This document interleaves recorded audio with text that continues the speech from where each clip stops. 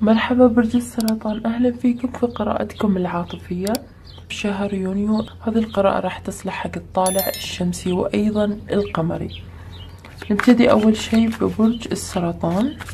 ما الذي ينتظرك في الأسابيع القادمة مع الشريك؟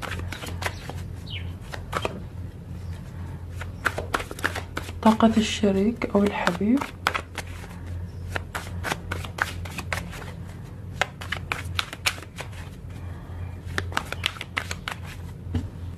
الطاقة العامة للشريك وعندنا الكارتات اللي يتفرعون.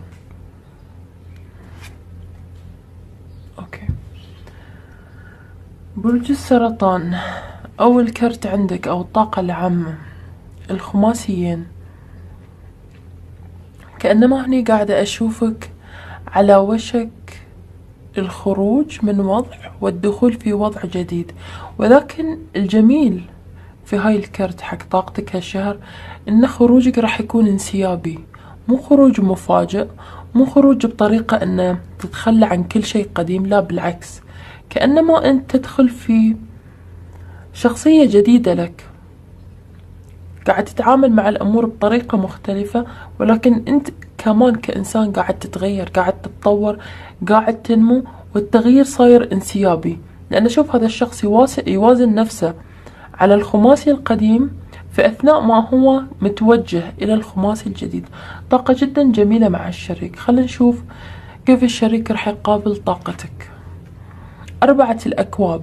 أوكي.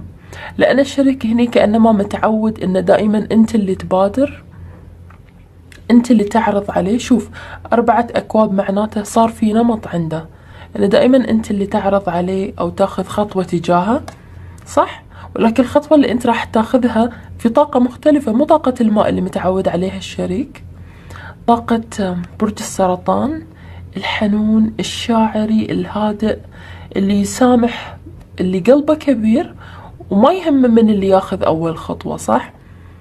فأنت هني كأنما الشريك يفكر أن أنت متعمد الابتعاد عنه أو عدم أو عدم المبادرة لأنه متعود أنه دائما هو يجلس في مكانه وأنت اللي تبادره ولكن أنت لا. اللي أشوفه هني أنه مو قاعد حاط في بالك أنه تتعمد تأذيه أو حتى تضايقه وإنما ابتديت تستطعم حلاوة النمو الشخصي. إن أنا من أكون كبرج السرطان بدون هذا الشخص في حياتي. مو معناته أني أريد أن أبتعد عنه أو لا أفكر فيه أو ما أحبه أبدا. ولكن ما الذي يعني أن أنا أوازن نفسي؟ أعرف أمسك العصا من النصف ولكن بطاقة التراب الخماسيات من دون أن أكثر العطاء. كثرة العطاء نعود الناس مثل ما أقول لك أنت تعود الناس أو تعلمهم كيف يعاملونك. وهذا اللي صاير يا برج السرطان. كأنما هني هو متفاجئ شريكك وما يعرف شلون راح يتعامل معك راح يتفاجئ بتغييراتك الإيجابية والنمو الشخصي على الصعيد الشخصي. قاعد أشوف هني نموك بعيد عنه أو ما يخصه بشكل مباشر. خلنا نشوف. عندك كرت العاشقين. العاشقين هو كرت برج الجوزاء. ممكن إنك تتعامل مع برج هوائي أو حتى ترابي هنا عندنا طاقة التراب. ولكن دائما هذه طاقة توأم الروح أو الشخص الثاني. ممكن أيضا هذا يكون بالنسبة لك أنت في هاي الطاقة ما بين الشيئين الجمع بين شيئين. أنت في مرحلة انتقالية مثل ما قلت لك.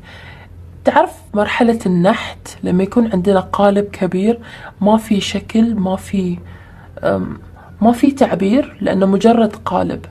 أنت قاعد تنحت نفسك بنفسك خلال هاي الفترة. قاعد تدخل في الشخص الجديد الشخصية الجديدة. قاعد ترجع إلى نفسك ولكن مو أي نفس النفس القوية. شخصيتك القوية قاعد ترجع لها. قاعد توجد نفسك خطواتك في طريق غير طريق الحب. حتى لو كنت متزوج حتى لو كنت مرتبط. يمكن صار لك فترة طويلة دائما مثلا تسوي الأنشطة أو تدير البيت تدير العلاقة مع الزوجة ومع الشريك. بطريقة أن إحنا دائما شركاء. إحنا دائما نسوي كل شيء مع بعض وأنا دائما أرجع أرجع لشريكي في كل شيء قبل ما أخذ قرار. هني اشوفك لا ابتديت تاخذ طاقة الاعتماد على النفس. أنا من بدون شريكي لأن إذا ما أعرف أنا من بعيد عن هذا الشخص هاي اللي أنت تقوله يا برج السرطان إذا أنا ما أعرف أنا من بعيد عن هذا الشخص معناته ما أقدر اعطيه اللي يتوقع مني. معناته راح يظل مخذول هذا الإنسان صح؟ أوكي الشمس. كرت برج الأسد. راح تكبر. شوف الشمس دائما توضح الأمور عندنا أو معناته في طريق بينك وبين هذا الشخص اللي أنت حاطه في بالك ولكن مو الطريق الاعتيادي. بما معنى؟ مو قلت لك أنت هني في في سابقا كنت دائما تبادر ولكن اللي أشوفه هني لماذا هذا الشخص متأثث ما قاعد ينظر إلى أي من المبادرات أو أو حتى يلقي نظرة أو يعترف بجهودك لأنه تعود على هاي الشيء. فسلوكك هني لطريق مختلف قاعد يوضح لهذا الشريك أو لهذا الشخص بشكل عام مكانتك في حياته.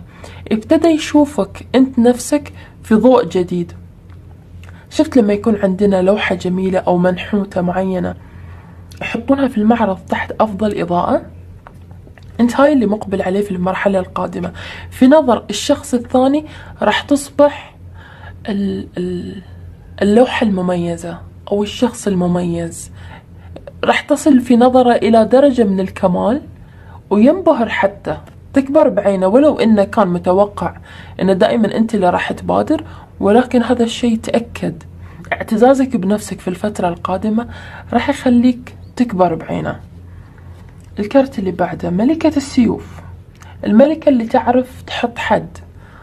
طاقة السيوف تقريبا هي عكس طاقة الماء طاقة الماء هي طاقة الانسيابية. اللي ما تحب المواجهة ولكن هني أنت قاعد تاخذ تاخذ طاقة وضع الحدود. أرسم حدود. صح؟ مو قلت لك أنت هني تنحت؟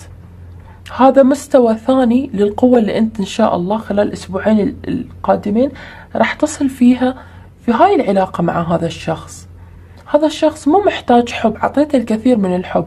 أنت هني محتاج طاقة توضيح شمس وسيوف. أحط لك حدود وأفهمك ونقعد مع بعض. هذه هي طاقتك. نعم كرت الشراكة عند الشريك. الغصنين. راح يختار إنه يدخل في العلاقة. مثلا لو هو اللي كان عنده هذه الطاقة رجل داخل العلاقة ورجل خارج العلاقة أوقات يكون بارد أوقات حار أوقات يقترب أوقات يبتعد. لكن وجود طاقة ملكة السيوف عندك راح تخليه يلتزم. يثبت. تثبت مثل ما هالغصنين منغرسين في الأرض راح يثبت. لأن الحقيقة اللي يحسها دائما هذا الشخص كان دائما يبحث عن خلينا نقول شرارة فيك شرارة المواجهة شرارة الشجاعة شرارة التوضيح. أنت أثبت له. بما أنك هني أثبت له وماشي في هذا المشوار فهذا راح يشوفك في ضوء جديد. وراح يكون جدا متحمس أو منه ومن نفسه حتى يلتزم معاك. ما ينتظر منك أنت اللي تبادر هو اللي يلتزم من نفسه. هذا هو اللي أنت إن شاء الله مقبل عليه مع الشريك. خمسة الأكواب وداعا للمرحلة المؤلمة. وداعا للمرحلة اللي أنا دائما أطرق فيها الباب على هذا الشخص وما يجيب. لا. عجلة الحظ. تغير الوقت تغير الوقت. اللي كان قوي أصبح ضعيف واللي كان ضعيف أصبح قوي. تغيرت المعادلة بينك وبين هذا الشخص أو على وشك أن تتغير في الفترة القادمة. اللي كانت له اليد العليا أصبح الحين هني مستغرب لماذا برج السرطان ما يبادر أو ما يلحق وراي أو ما يسأل عني؟ أنا متعود أنه دائما مثلا أنت اللي تكون متواجد لأن تشوف برج السرطان مو من الأبراج اللي يهتم في موضوع مثل الكرامة والكبرياء. لا من الأبراج المتواضعة. فهذا شخص فهمك غلط ولكن في الفترة القادمة راح يفهمك وجدا صح بما أن عندنا كرت الشمس وهو كرت الوضوح الحقيقة. راح يتضح له الجانب القوي منك. الجانب الصارم منك. راح يعجب في هذا الجانب ترى. لا لا تخاف إنه مثلا يهرب أو أي شيء. لا بالعكس. راح يقف منتصبا مكانه ثابت منغرس ويقول لك خلاص الحين لازم ناخذ فعلا خطوات جادة. لأن تغير الوقت. لأنه عرف أنه ابتدى يخسر سيطرته على الوضع. أسلوب أسلوب القديم ما عاد ينفع معاك ويأتي بنتيجة. لأنك خلاص تخطيت أنت هني أشوفك في خمس الأكواب تخطيت المرحلة المؤلمة أو المرحلة اللي تنتظر فيها شخص أن يقبل عرضك.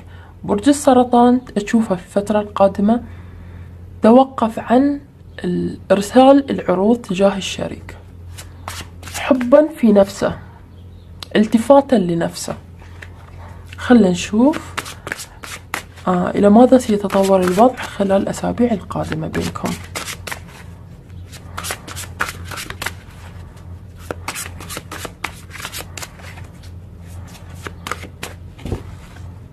هذا كرت برج السرطان. يعني أوقات بعض التغييرات اللي نقوم فيها ممكن أثرها يكون سلبي مع الشريك ولكن التغييرات اللي أنت مقبل عليها برج السرطان جدا جميلة. راح تكون طريقك المختصر إلى قلب وعقل هذا الشخص واحترامه حتى. نشوف. كرتك أنت. تسعة الأغصان. عدم الاستسلام الثبوت والصمود. تقريبا مثل ملكة السيوف. ثابت وصامد مصر على موقفك مصر على أنا واقف هني أنت تقول أنا واقف هني ما راح قلت لك ما راح أقدم عروض أكثر وما راح أرسل أي خطوات ما راح أقوم بأي خطوات حتى تجاهك. خلاص انتهيت من المبادرات. إنزين أنا واقف هني. إذا شعرت بالرغبة أنت تفضل عندي. هني واقف برج السرطان واقف وثابت. خلينا نشوف الشريك. ثلاثة السيوف. الشريك جدا راح يكون راح يكون جدا مصدوم من طريقة تصرفك. طلع عندك وايد طاقة هوائية هني. احتمال إنك تتعامل مع شخص هوائي وانعكست الطاقة. ليش عندنا هني؟ عجلة الحظ. انعكس اللي كان فوق صار تحت واللي تحت صار فوق. اللي كان يتعامل بأسلوب دائما مائي ولطيف أصبح الآن الشخص القوي في العلاقة. واللي كان دائما متعود أنه يحصل على كل شيء بالراحة أصبح مخذول ومصدوم أنه شلون برج السرطان من وين أتت له هاي القوة والثقة يتصرف بهاي الطريقة. ولكن قاعد أشوف في النهاية شوف ثلاثة السيوف هو ألم أو صدمة نعم ولكن الصدمة دائما يأتي, يأتي بدالها بعدها آه، شفاء. شفاء لتوازن هذه العلاقة لطريقة تعاملك حتى على المدى الطويل. أنت ما تبي تغييرات مؤقتة أنت تبي تغييرات تدوم مع هذا الشخص. فحان الوقت يا برج السرطان إن نضع الأمور في نصابها الصحيح مع هذا الشريك اللي بالعكس راح يستقبل تغييراتك بكل احترام وتقدير. وعندنا هني رغبة في أن ينضم إليك. عزيزي برج السرطان هذه كانت قراءتك لشهر يونيو.